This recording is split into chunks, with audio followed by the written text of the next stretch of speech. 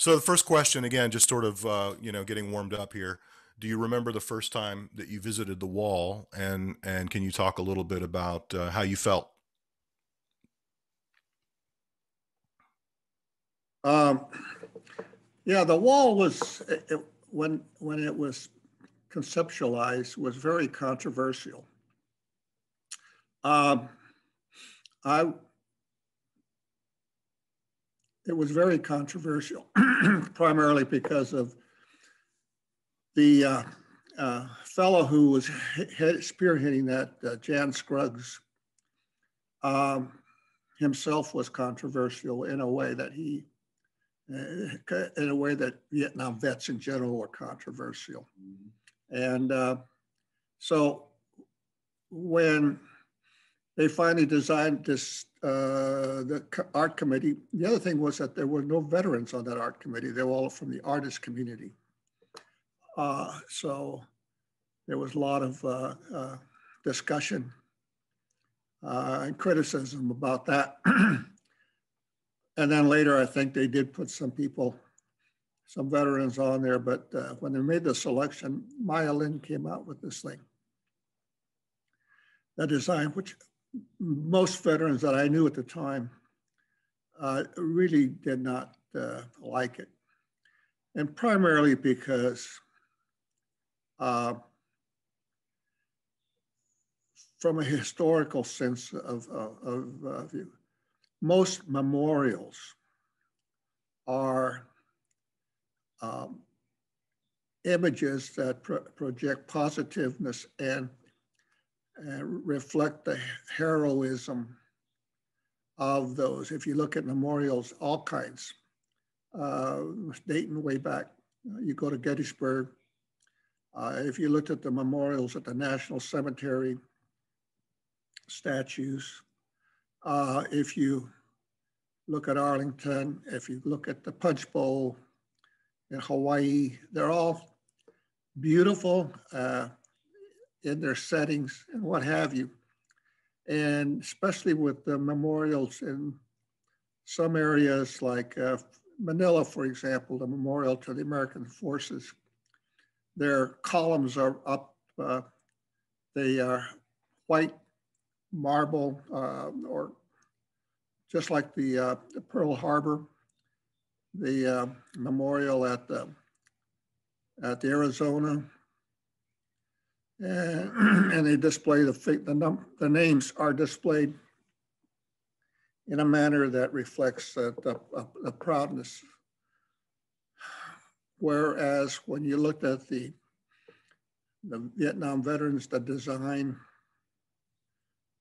was totally different. It was a trench in the eyes of many people. And I have to say, I was also impacted by that. I did not like the fact that it, if you, it, it's not until you come upon it that you see it's a memorial and it's not white uh, uh, stone, marble. It's black.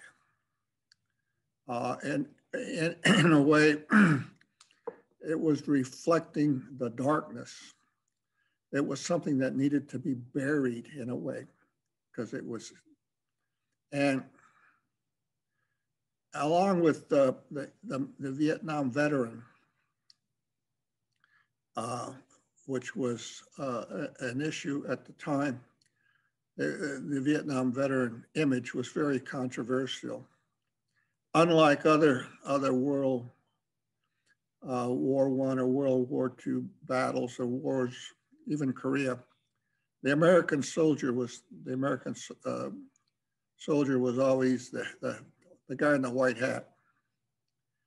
Uh, and the media uh, portrayed the Vietnam veteran in a sense uh, they, were the guys in the black hats. Uh, they were the, the images that the media, Hollywood and the media portrayed were of the guys that were drug crazed killers that had come back doing harm. And the, the war being the way it ended, uh, the war was very uh,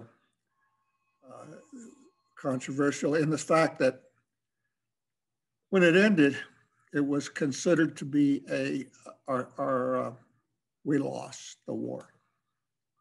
So that had many complications. And so to get back to your question, I think that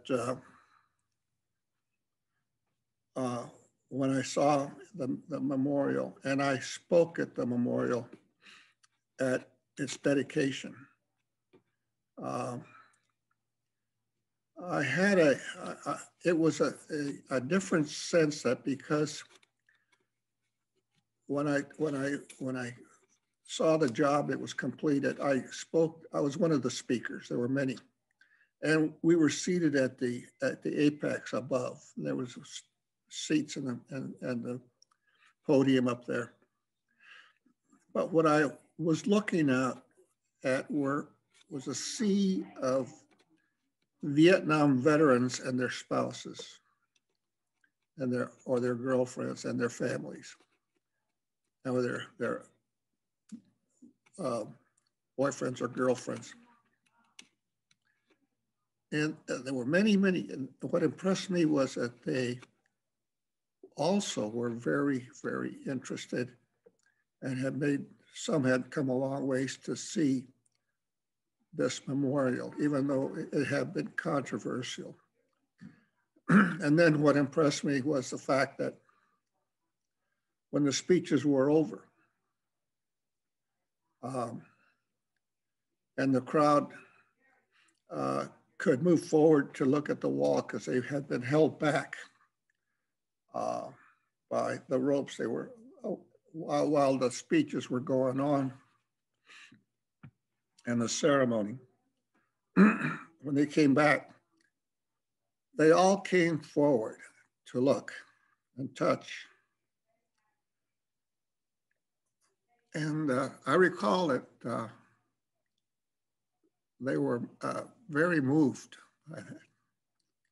So my whole attitude, which I really wasn't uh, that much against it when I when I was finally finished, but uh, my whole attitude uh, changed because I saw the reaction of the veterans themselves uh, when they came forward and looked for the names and the objects that they left. That uh, I think that was most significant to me because it really demonstrated how they felt. And, and being fairly new at the VA, and uh, at, at that ceremony, I was uh, acting head of the VA because uh, Harry Walters had not been named. He was a fellow that uh, re actually replaced uh, Bob Nimmo, who vacated that job, uh, resigned, and so I was acting head of the VA. Um, all of that and that ceremony and what I experienced when I first came over to take the job at the VA as a deputy, number two at the position. Uh, and what I encountered at the VA all seemed to uh, uh, surface the fact that uh, the Vietnam veteran was indeed different. He was uh, seen different. He felt different because of the way he was seen and I say he, uh, I'm including men and women.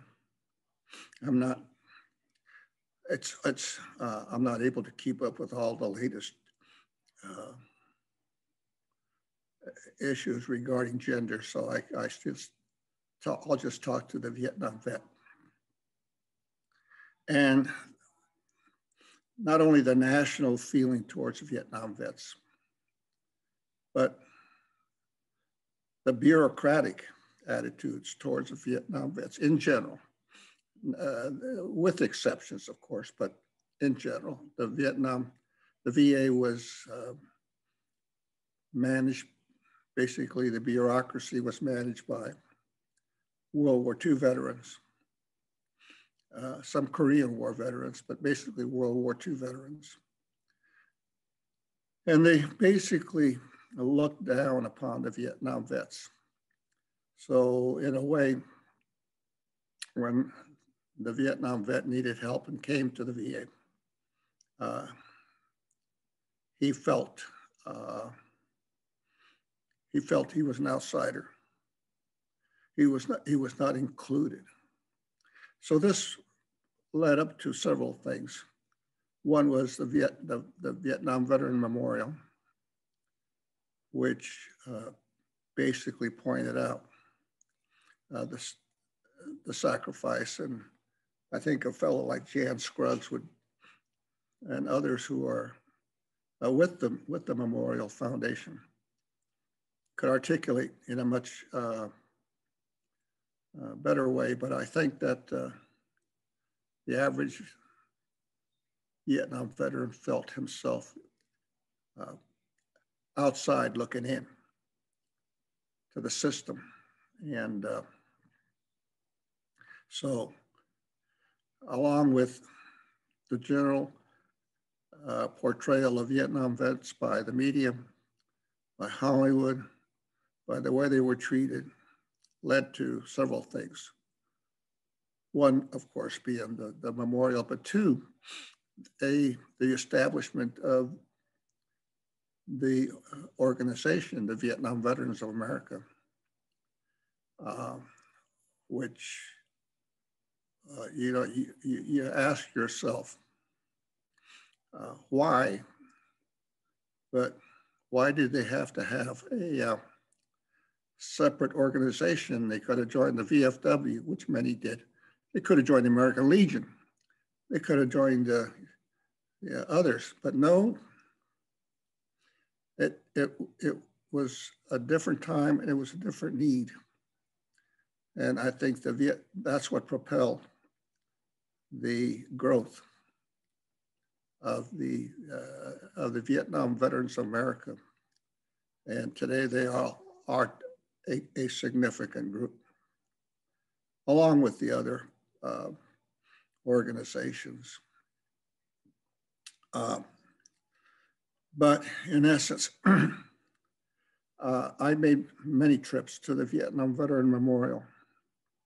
And each time I go there, I, I feel uh, closer to it, not because uh, it, it signifies a, it, it signifies a, uh, a recognition of the contribution uh, uh, that the Vietnam veterans made in a time in our history that is uh, still uh, still looked upon as a controversial uh, as a, uh, a, a period in which the country will probably never agree, just like the Civil War, until our generation is gone. But uh, so in retrospect, even though I, I, I really, I really didn't think much about this until I had that job. And the more I was involved in it, the more I, I uh, my respect grew for Vietnam vets. Not only because I, I am a Vietnam vet, I, I didn't want to uh, see myself in that manner. I didn't want to take credit for anything, but I really learned to appreciate uh, the contribution that Vietnam vets and what the Vietnam veterans have done since then. Uh, after the war, if you look at the number of uh, Vietnam vets percentage wise, that went on to take advantage of the GI Bill and further their education and, and become uh, members and contributors to their communities, to their society, was greater than the World War II population and greater than the Korean vet veteran uh, uh, percentage wise. And uh, so I think that uh, we've learned a lot. The country learned a lot by the way they were treated. As a result, that when we got to the Gulf War,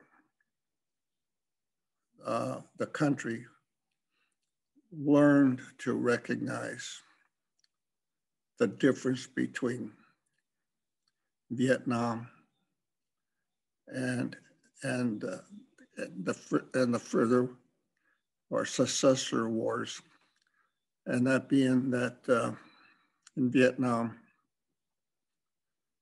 generally speaking, the Vietnam vet was blamed for the war. But after that, they learned to distinguish between the war and the warrior. And whether or not you politically agreed with the, the war, you did not blame the warrior. And the, the things that began back after uh, the, the Vietnam era, the, particularly the accounting of the missing uh, is something that I think has um, embedded in our policies afterwards that we don't leave anybody behind. I think as a reflection is how many we left behind, perhaps. Uh, not only uh, uh, dead, killed in action, but uh, missing. And then he, that extended later back to even World War II, and certainly Korea. So mm, there was a lot that happened in that period uh, that reflected uh, the way things were after the Vietnam War and what has come to be today. so I'm, I don't know if I'm making much sense to you, but uh, well, I, I have to say it definitely uh, it definitely helps that I read the book before coming into this conversation because uh, you know I, it it really helped me. It really enhanced my conception of what it was like uh, coming home, and and one of the things that struck me was you know I've heard um, there's been a lot said and a lot written about how uh, Vietnam veterans, for the most part, were treated when they got home. It hadn't occurred to me that it was so different for you, right? That there were there was a subset of Vietnam veterans who came home and were hailed as heroes. And you talk in your book about uh, about hero status and how you wanted to use that uh, to be part of the healing. Um, so I'm wondering, you know, when you arrived at the VA, uh, you know, what are some of the ways that that the way the bureaucracy regard, regarded Vietnam veterans, what are some of the ways that that manifested itself that you saw that that you wanted to change? Well, there were uh, first of all, when I when I arrived at the VA, I had no clue as to what it was like and what it needed to change. Because up until from the time I, I arrived back in the states in 1973 to the time I uh, I arrived at the VA in 1982, it's almost uh, well, it was nine years. And and uh, it uh, it was very very uh, revealing because I, I mean just when I went when I went with the administration, uh, it wasn't because I was politically involved. In fact, it was the opposite. I was never politically involved. I I personally met President Reagan and Nancy Reagan when he was a governor, and I met his staff. And then when he was elected uh, in 1980 uh, and came to Washington. I was already here. I retired from the military and coincidentally, I just happened to be um, going through a transition stage. And so it was a natural to, you know, join up with, with the team. And uh, so my first job was at the Peace Corps for a year and a half as a deputy of the Peace Corps. And then I was a deputy of the VA, number two. But like I said, when I when I went there, I was immediately acting head of the VA. And then I was there when the secretary or, or the administrator at the time, like the secretary today, came in. And then he, left, and I again was acting until he was succeeded. Um, when I came, um, Vietnam vets were camped out in Lafayette Park. They had barricaded the front door of the VA headquarter building. And the issue was Agent Orange. And they wanted uh, help. And they weren't getting the help. And then uh, when I first came in, like I said, I found myself acting and looking around to see what needed to be done from an organizational point of view. So I called up the head of the medical department, Dr. Custis at the time, and the head of the benefits department, uh, a lady named Dorothy Starbuck, World War II veteran, and the head of the cemetery organizations uh, at the time. And we, I sat at the table and, basically I uh, asked, who else is here from management? Uh, and then we started talking and from that point started uh, uh, staffing the positions that I needed to be an effective uh, deputy. Because my job was, as a deputy, was essentially the day-to-day operations of the VA the head of the VA, VA would be the secretary, and that was a uh, just uh, well a secretary's job.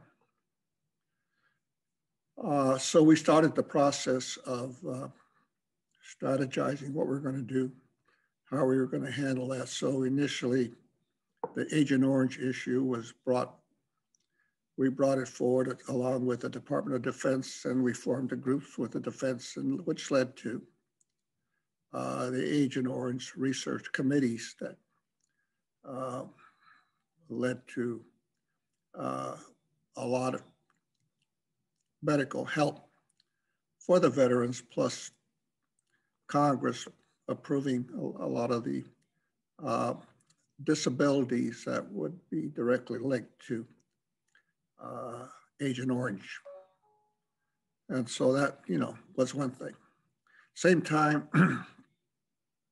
we wanted, there, there, was a movement afoot to start the, uh, uh, to do something about the, the help that the Vietnam vets needed that, uh, and the care that they weren't getting from the VA uh, medical centers and there was a, already a movement started, and then we adopted it and implemented these uh, Vietnam veteran counseling centers, the storefront operations that uh, we opened up around the country, eventually about 180 uh, around the country to, to be walk-in centers for people who, Vietnam vets who are having trouble. And these were manned by Vietnam vets themselves who are qualified and certified counselors to, to help these people and assist them. That was a big effort. Uh,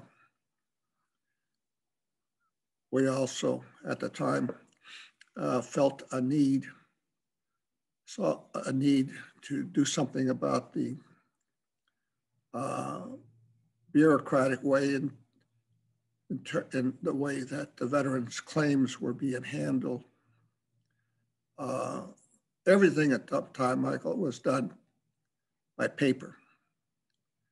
And we introduced uh, actually the first word processors.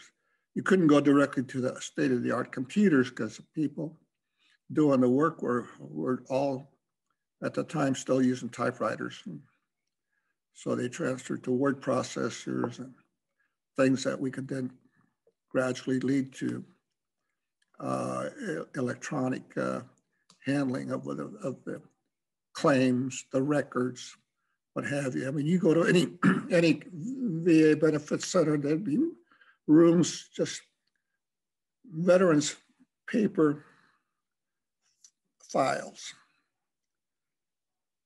stacked from floor to ceiling. And uh, that's the way things were handled. Everything was paper and the effort was recognized that we needed to start transferring, but that was not going to be an overnight accomplishment because you had personnel that just were not. This was 1980, early 80s. And these were people that were had grown up and served in World War II and Korea. And Vietnam vets were just now starting to get into the system. And they knew that, but uh, so we knew that we were going to have to uh, uh, just push it along. Along with that came the medical records. And that was a big thing we did. The, doctors out there were trying to uh, take their little uh, uh, laptops that we had at the time, the elementary ones, and, and do work and on their own. Each, uh, there was no standard system. And we fought, uh, one thing we did was we pushed through the first uh, uh, electronic system called, it was the MUMPS system was nomenclature of the, which basically to standardize uh, certain aspects of the hospital system, uh, the dietetics, the pharmacy, and uh, I don't recall the other the administrative part.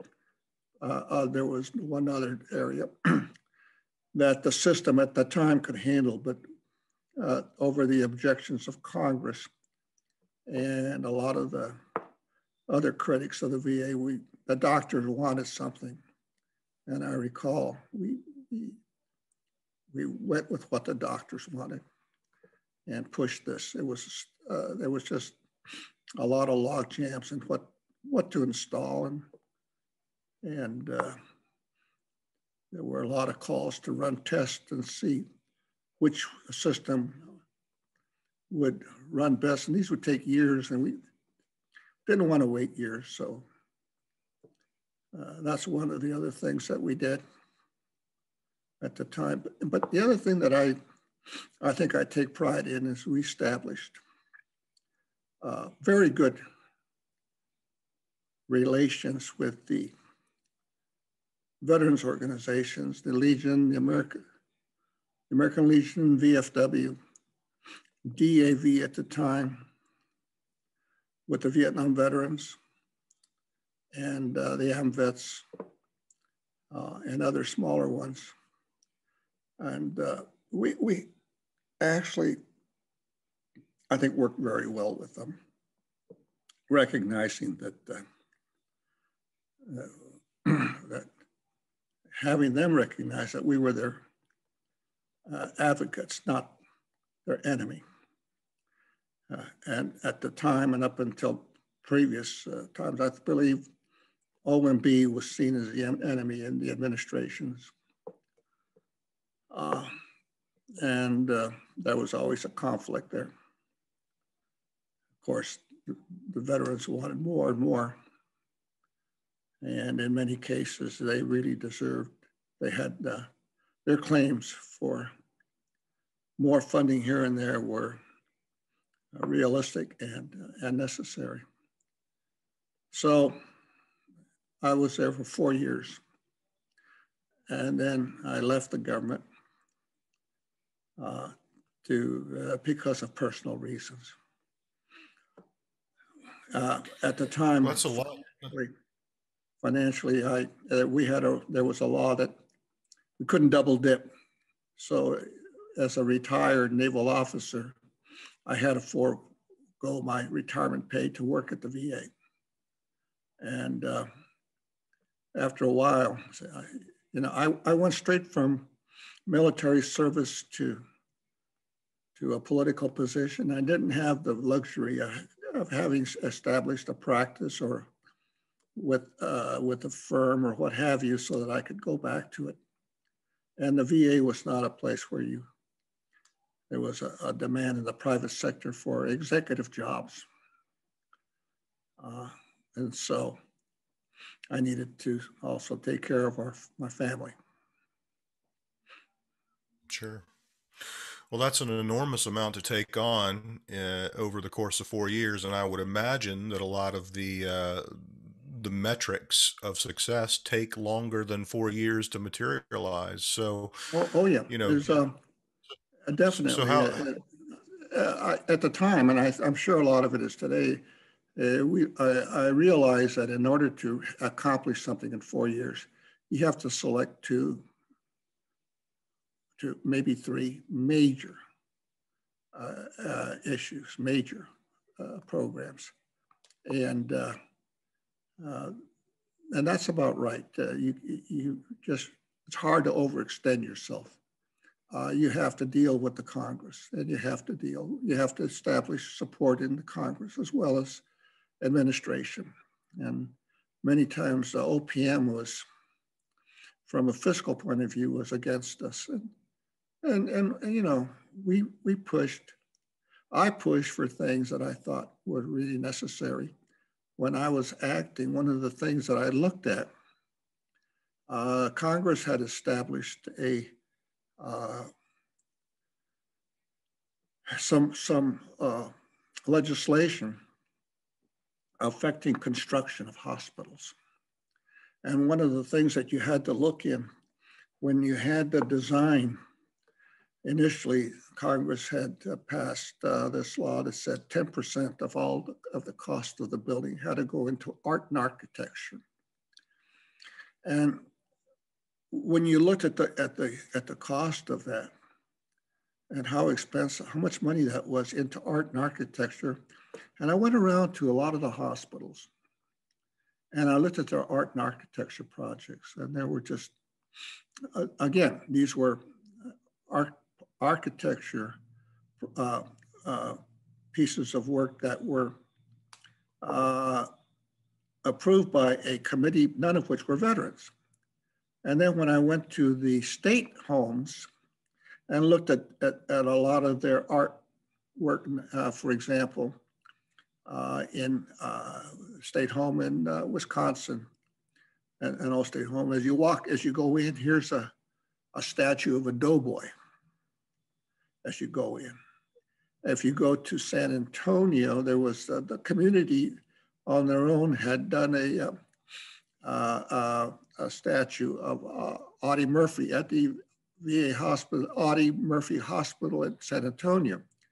Well, this is what the community wanted. If I went to other places, uh, there were modern design things that uh, the director said, look, we're going to just put that over there and, and we're not, we're going to sort of hide it. And I'm thinking, why, you know, why are we doing this in the first place? Well, it's the law. Uh, so I, I, I question that. And boy, did I get, I get hammered in the media by the um,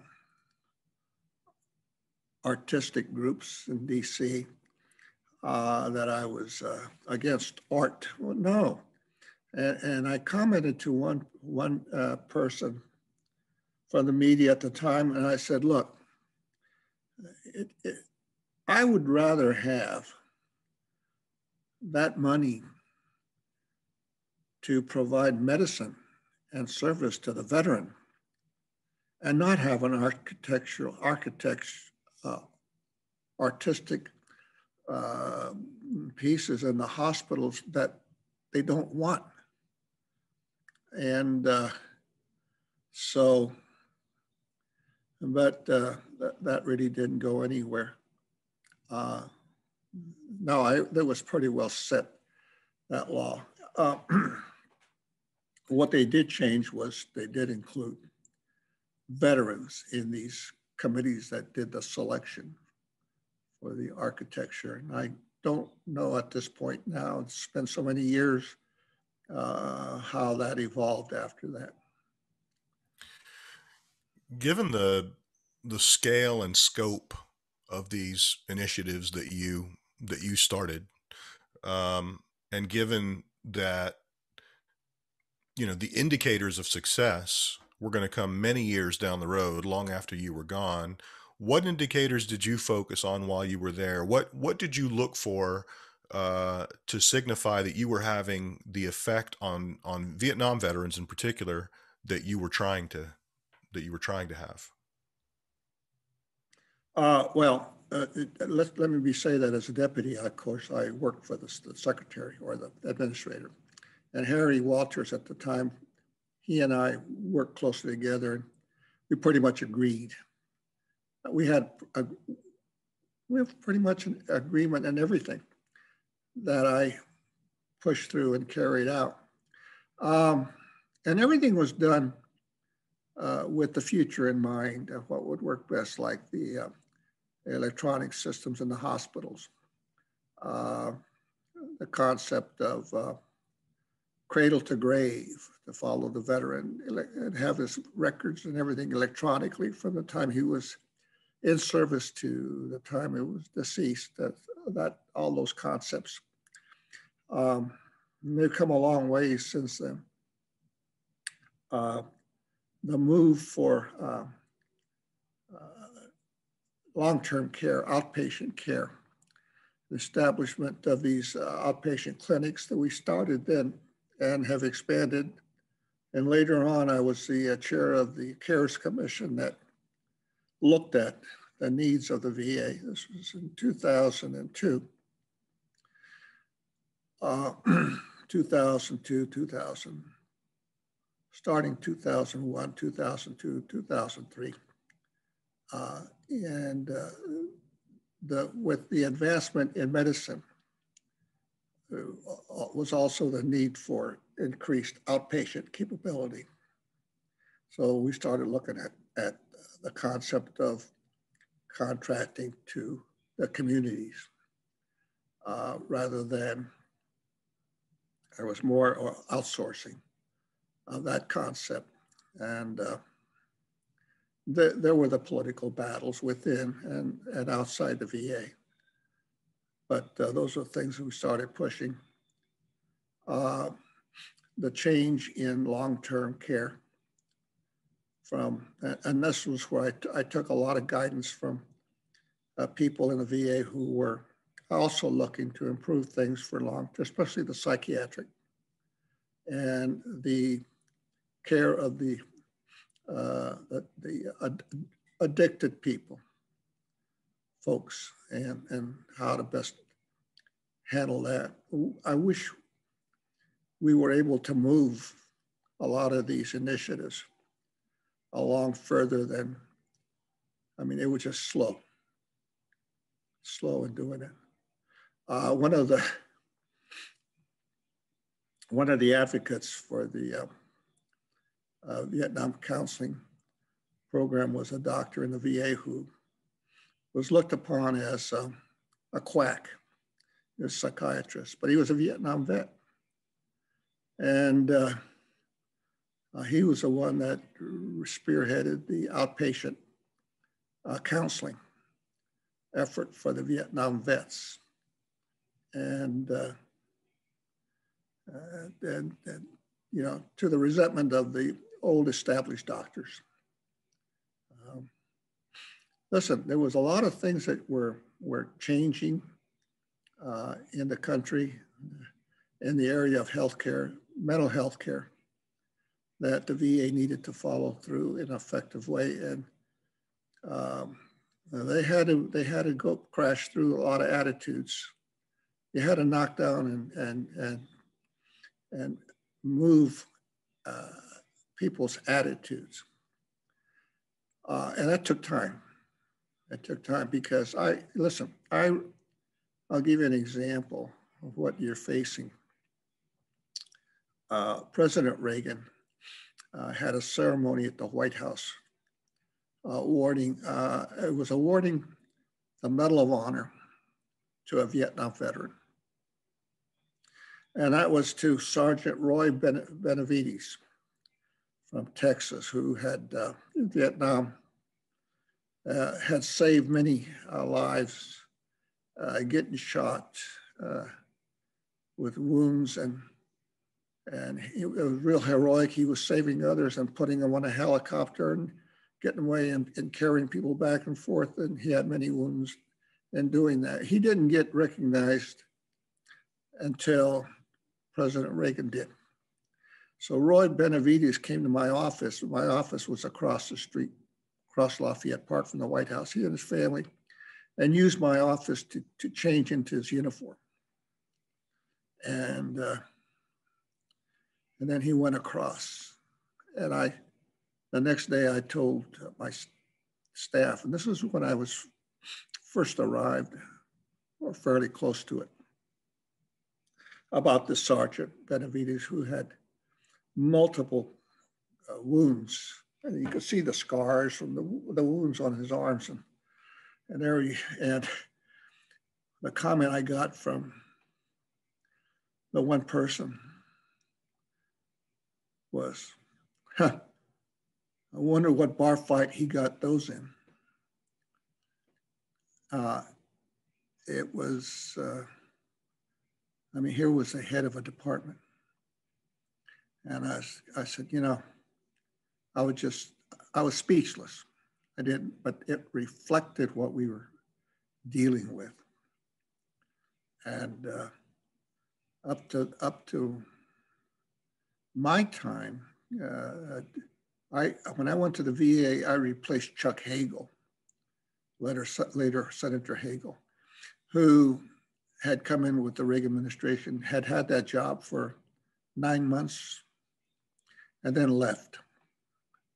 And uh, he, uh, and so he was the first Vietnam vet to have a high level job at the VA. Prior to that, there were World War II vets. And, uh, and I'll, by the way, a lot of them were very pro veteran. They were very, but the bureaucracy had, that's what I'm talking about. So, uh, so anytime you, to answer your question, anytime you uh, took undertook an initiative, it really was looking at the future, changing the way things were doing, or bringing something new, new ideas.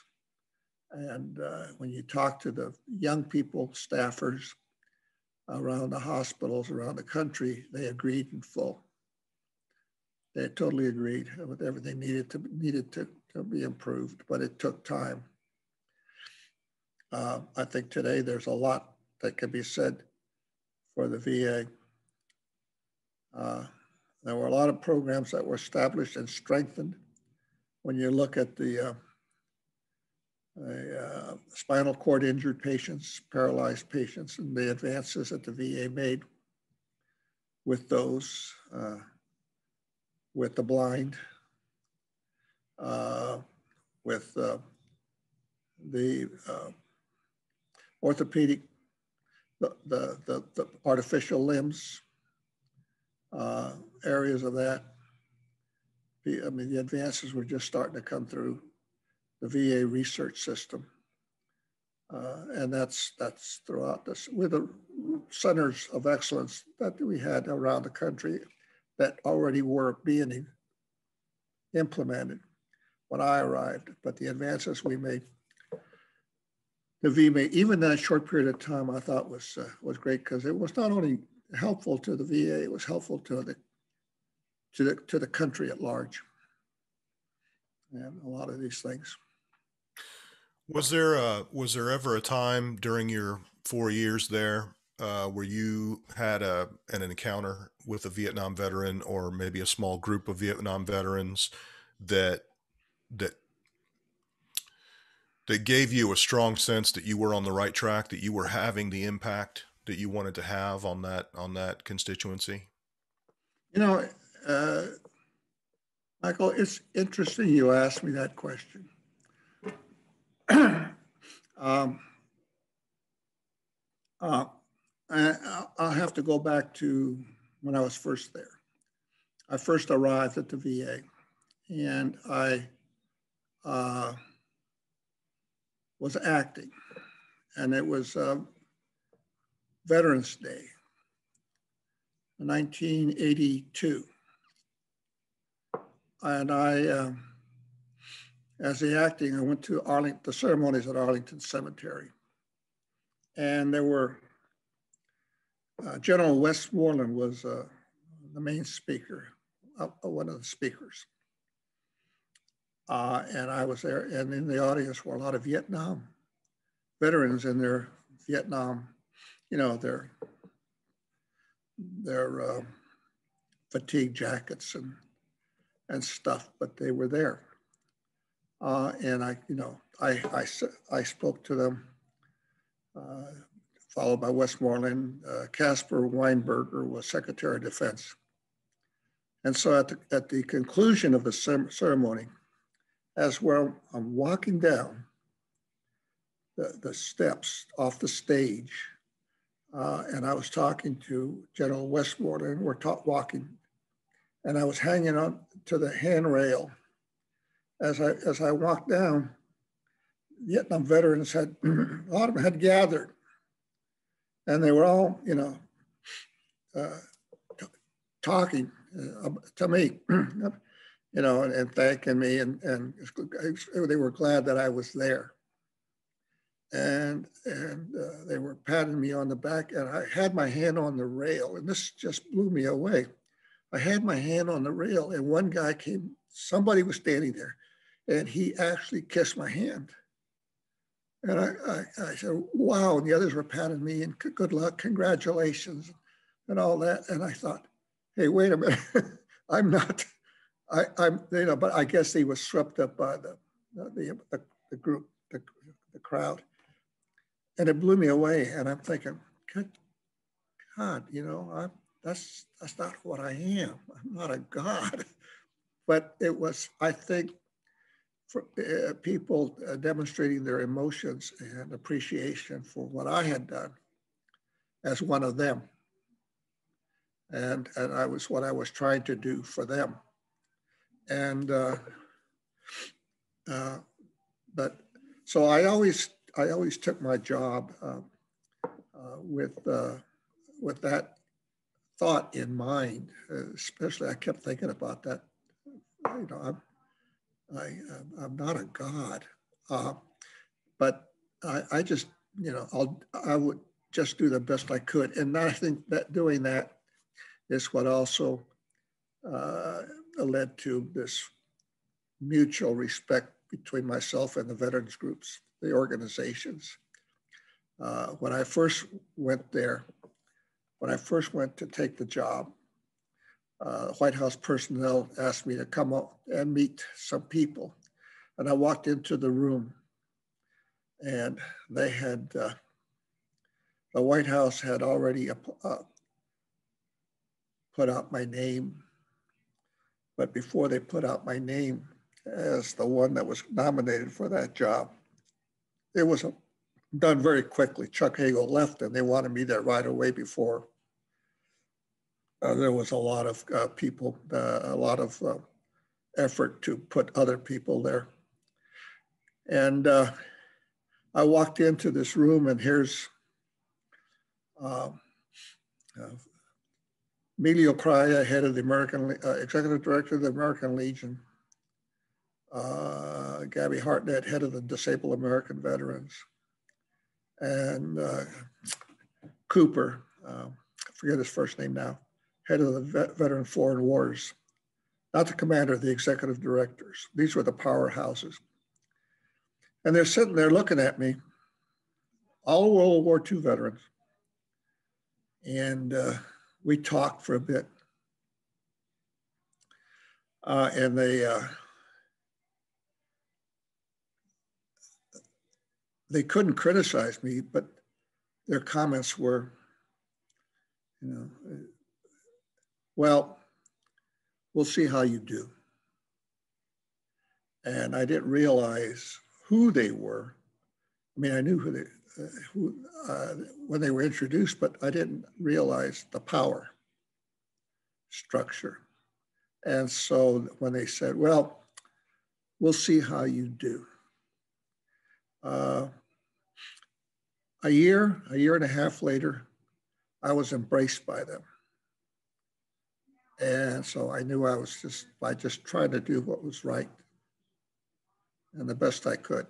And because of my reputation, my name as a POW, that really expanded further. And enabled my name just uh, expanded further. Um, so um, I, I look back, I look back in those at that period of time working with that, and I have to say that that was probably one of the uh, better times at the VA because Harry and I worked well together. And by the way, the reason Chuck Hagel left is he didn't, could not stand Bob Nimmo. And Bob Nimmo left and Chuck Hagel left. So we, Harry and I worked well together and we worked well with the veterans groups. And we worked, uh, we had our friends in Congress. And these were the fellows that were World War II veterans, both sides of the aisle. One of my strongest supporters. One of my strongest, two of my strongest supporters. And I had, I had uh, uh, uh quite a few in Congress. Uh, Sonny Montgomery, uh, from Mississippi, uh, head of the Veterans House. he was a Democrat, but very supportive. And then Senator Al Simpson, Wyoming.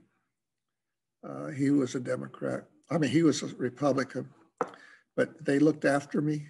Uh, they, when I go up on the hill, talk, every, they, is everything okay? how you doing? You need help? You know, uh, they were advocates for veterans. In fact, when I first went to meet uh, Al Simpson, I recall, because as a new person, you had to go meet people in the committees up on up on the hill. And uh, I walked, I, I met Al, and we sat down, and he looked at me and he knew my record as uh, I had uh, as a POW in, in, Vietnam and and then with the Reagan administration the first year and a half with my uh, at the Peace Corps and then now at the VA. He looked at me and he says, Everett, with all that you've gone through in your life, why would you want a job like that? it's terrible. He'd say, it's terrible. He'd say, you know, he, he said, I don't, uh, I don't worry about my job. I got more cows than I have people. But if my constituents don't vote me out, they vote me out. You know, I, you know, and so I took that as, you know, my life did not depend on being the deputy or the head of the VA. I had other things I could do, but this was a chance to do something.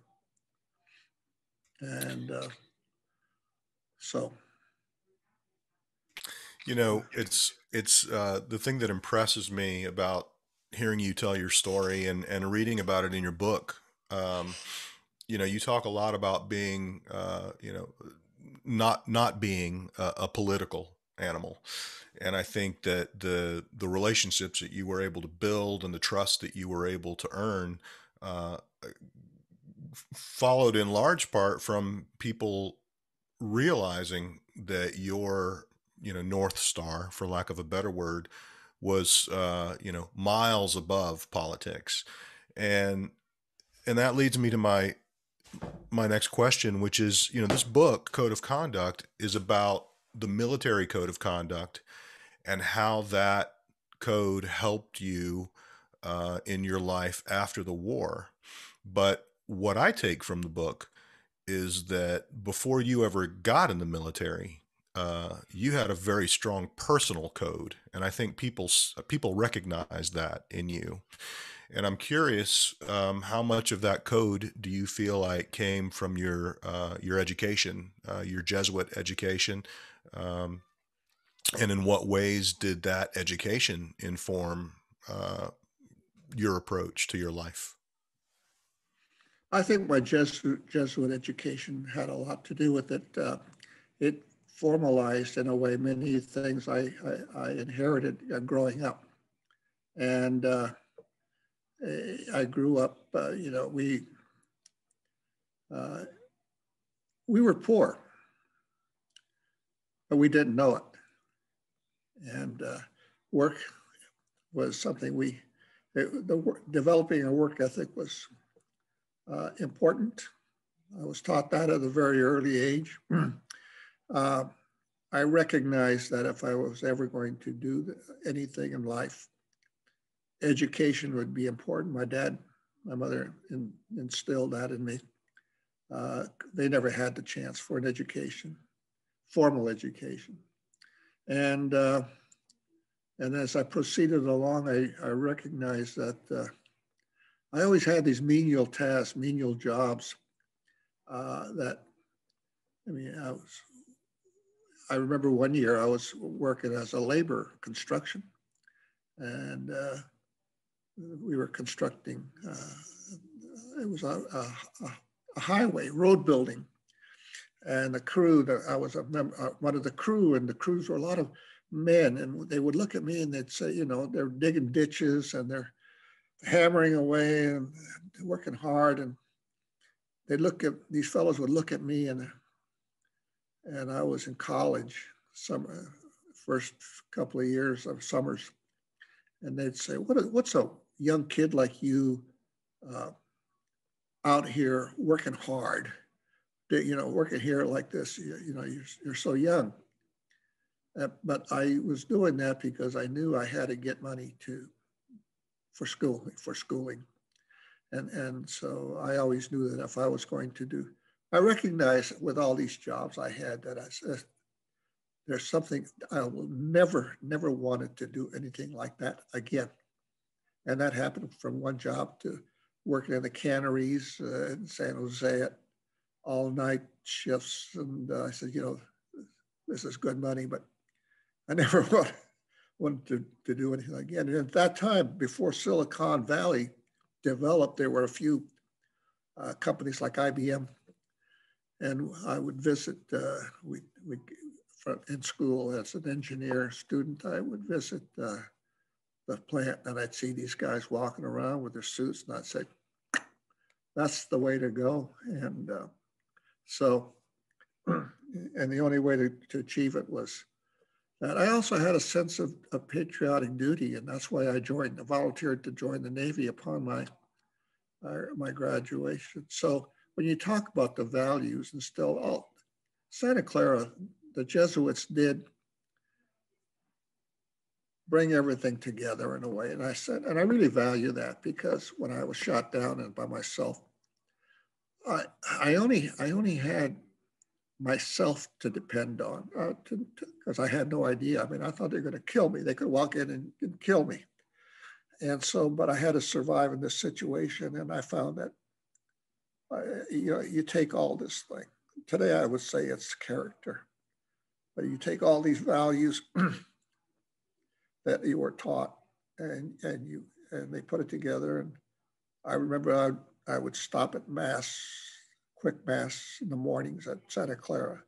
And, and uh, that, you know, followed from being an altar boy, Father Buckley, the, when I was, Joe Cap and I were a couple of, uh, we were the youngest altar boys and all of that training just sort of just melded into who I was. And, and that's what helped me develop, helped me sustain uh, my day to day survival. I had no idea what I was going to do.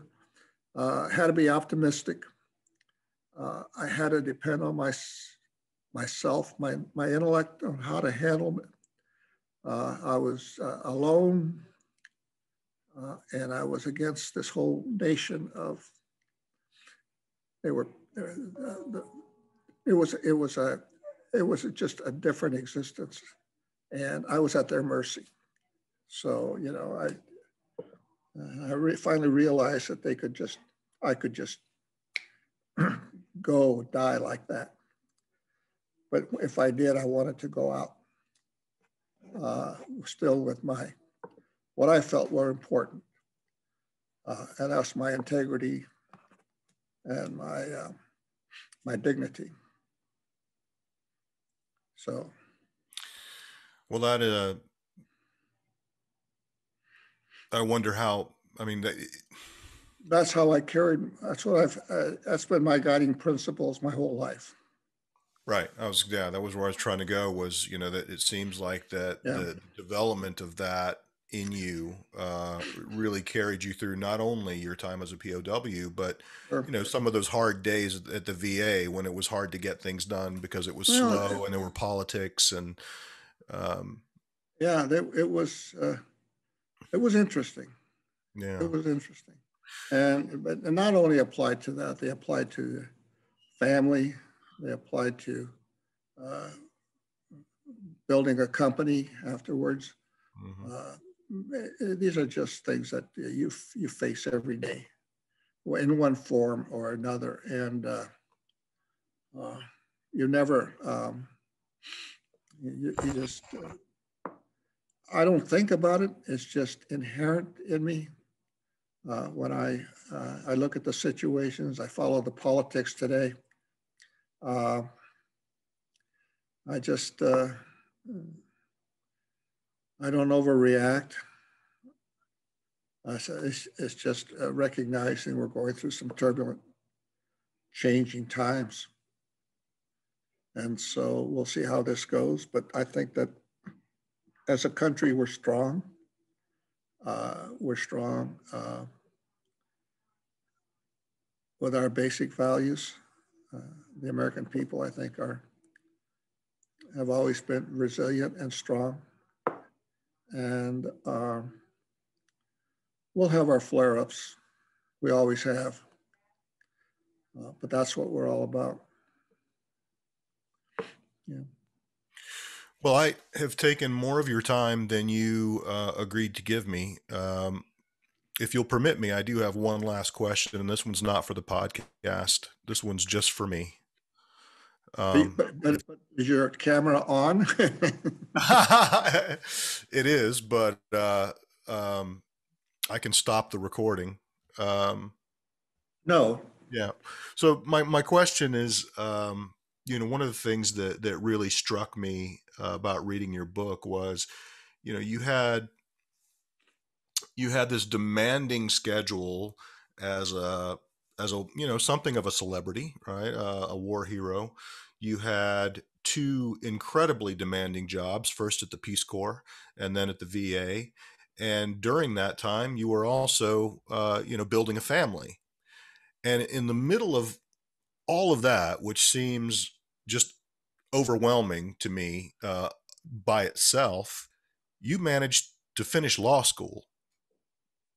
So, my question is how in the world did you manage to balance all of those things? Because I cannot imagine having the job that you had, running the day to day operations of the VA, having a, a, a young growing family at home, uh, having a, a, demanding speaking schedule, um, and at the same time, I mean, law school is no picnic. Like, how in the world? It's not like you. It's not like you went to to to you know night school. I mean, how did you do it?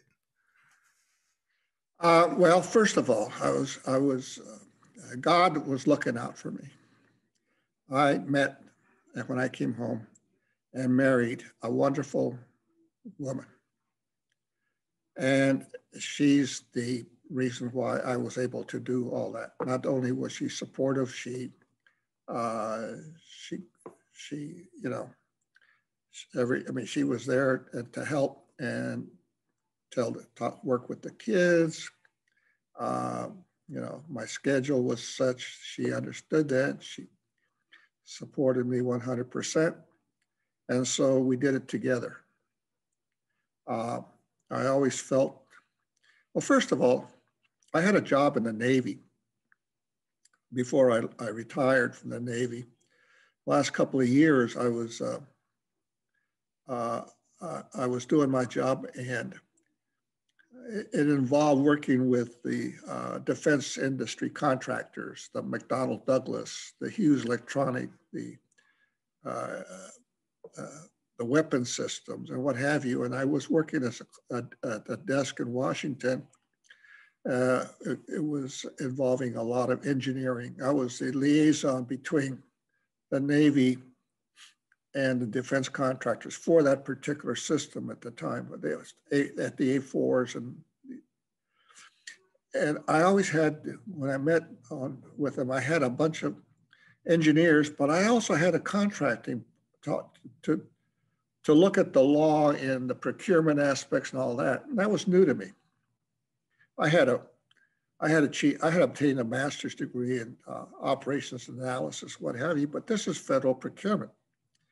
And it was like talking Greek, and I, I didn't know what they were talking about. So I started going to law school at night with the purpose of trying to understand what it was, and, uh, what they what what it was all about. And so I, I uh, you know, you take the basic courses to start, contract law, uh, torts, uh, and so forth. And it wasn't until the second year I started getting into uh, federal government contract and federal procurement as, as part of the curriculum. And it's a specialized area in law, and it's applicable to federal government law, dealing with it, especially with the procurement uh, and, and the federal acquisition regulations and the DFARS, the Federal Department of Defense, and all this and that. And I started, okay. So I started piecing it together. I said, you know, this would be something I really would like to pursue after, you know, in life. But then I got involved into the political appointment and, uh, and, and, but with, again, with the help of my wife, she would pack me two lunches uh, I would go to work at, at, my regular Navy job, a desk job from seven, and then at 3.30 people would uh, leave and I would have lunch. And then, uh, and then people would leave it. So it, from lost uh, from 3.30 to five, I think my first class started at 5.30 or six at uh, GW, which is across the river. And so I would break out my law books and eat my dinner, the second lunch, and then zip across there to, to class. And then I would have class till, uh, most nights till uh, two classes from one and then the other. And I, I, I, would get out at 10 o'clock, get home by 10.30. And then uh, uh, hit the books for a couple hours and then, and then, you know, do it five nights a week. And I, I you know, I said, I'll try it. And if it works, it works. Well, it, it worked for the first semester. Then I said the second semester, and pretty soon I had a year. And then when I graduated, I had two years. When I when I retired, I'm sorry, I had two years under my belt, and I needed two more, and so I kept going as time would allow, or as a schedule. And uh, you know, many times I had to travel uh, with these jobs, I was I would travel with my law books and, and read on the plane basically and do do, do that. But uh, no, my wife had a had a tremendous part, and I was lucky that I I had that support. Now she's my boss. We've been married 47, 47 years, and uh, I finally succumbed I thought, you know, with all these degrees and work, I, I would be king, but no, no, she's, she's the boss. I, I, I graciously gave up uh, trying to rule the roost here at home and, and what have you. Uh, that's that's one thing I learned. I learned how to get along with her. yeah, yep, she's always she's the boss. She must be amazing. Well, Yeah. I can't thank you enough for spending this time uh, with me, and I, I, um, you know, and I'm just so profoundly grateful um, for your example. You know, your life of service. Um, you know, which continued. I know we focused a lot on your time at the VA today, but I know that there have been, you know, decades since you left the VA that are that are just as compelling and just as exemplary. Um, and uh, you know, I, I, I, I'm, I'm awed by your example and inspired by it. So thank you. Well, thank you, uh, Michael. And, and uh, you know what? You've uh, uh, reminded me by uh, this. It's been a while since I've been at the Vietnam Veteran Memorial. And, and I need to get down there. Once they open up the city, uh, and, and uh, I, I really, we don't go down there anymore, but I need, need to go then. Every once in a while, I used to go down and, and look at the wall when I was at, uh, at the VA or at the, going to law school at night and come back. And, uh, it's just as compelling at night as it is early morning or what have you. And, and uh, some of these names, I, I, I, my friends, some of my friends are on there. Well, I hope to see you there sometime. Look forward to it. All right. Thank you. Yeah. Thank you very much.